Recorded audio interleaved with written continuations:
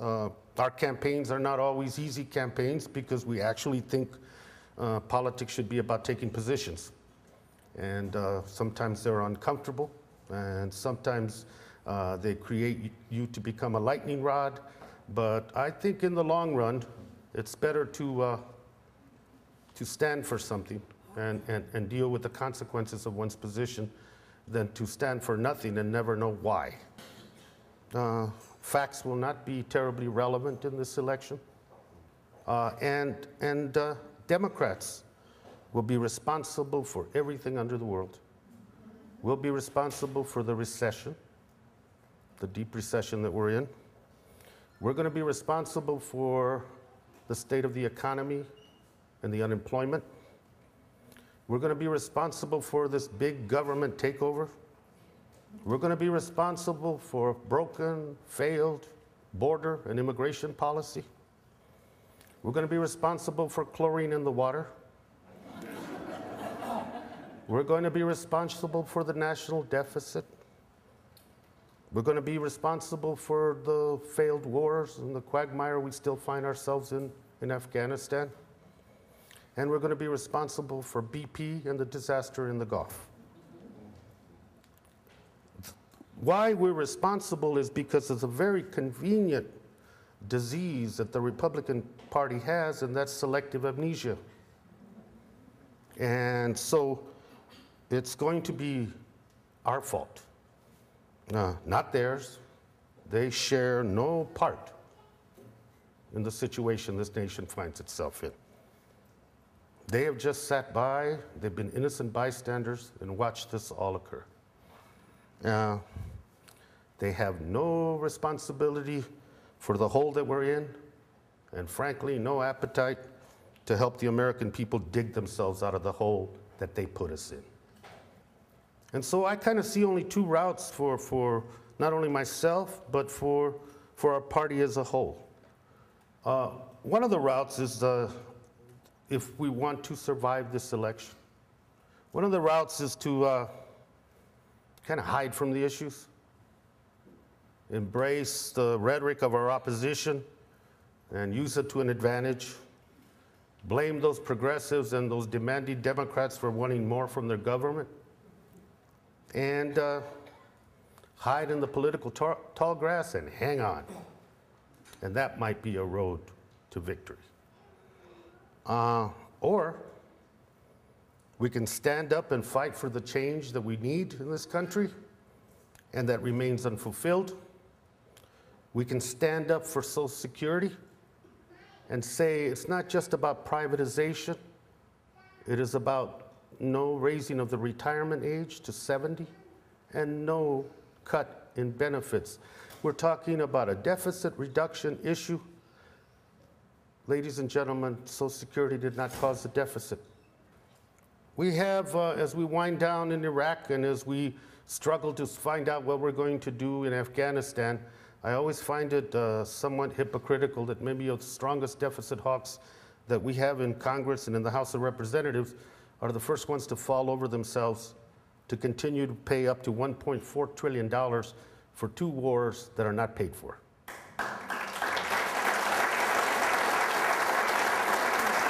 To my friends, the deficit hawks, don't be hypocrites. If you want to continue to fund this wars that we've been in, find the resources.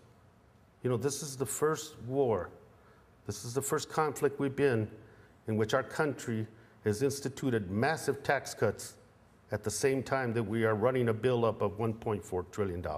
Never in the history of this nation have we done that. And so if you want to, find the money and talk to the American people honestly that this 1.4 trillion will be paid and it adds to the deficit of this nation unequivocally, because I'm not ashamed of it and I do not hide from it, say that President Obama has been outstanding in the face of one inherited crisis after another.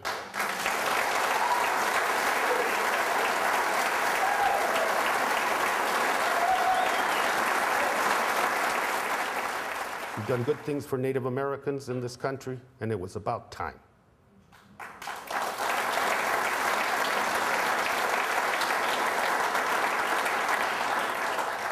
We've done good things for veterans. I am proud of that, and this Congress should be very, very proud of what their record they have with veterans in this country. I mentioned health insurance reform. More has to be done, but I am proud of that decision and I'm proud of that vote. I'm proud that we opened up higher education to more people and made it more affordable. I'm proud of the clean energy development and jobs that are being created. And I think those are things that we should be proud of. The Recovery Act saved and created 3.5 million jobs. Can you imagine if we had followed the people that are talking about the stimulus shouldn't have been done? It was big government. It shouldn't have ever happened. Can you imagine the unemployment and the economic situation this country would be in right now without that one month into that administration, we were dealing with this, this, this administration, we were dealing with a recovery plan that was needed in order to stabilize the very financial infrastructure of this country.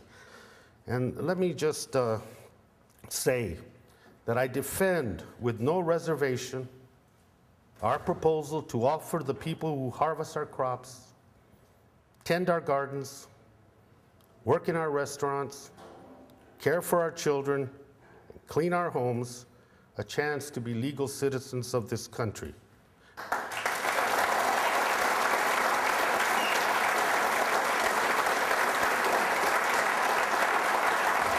And before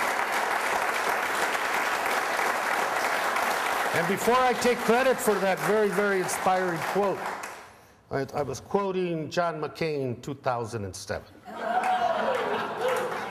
and, uh, and I couldn't agree with him more. The immigration policy, I think, speaks to, to many fundamental questions. It's a very serious matter for this nation about the life of our nation. What does it mean to be an American? What does it mean to become an American? How do we continue our successful experiment with diversity? What continues to make the United States such a unique nation?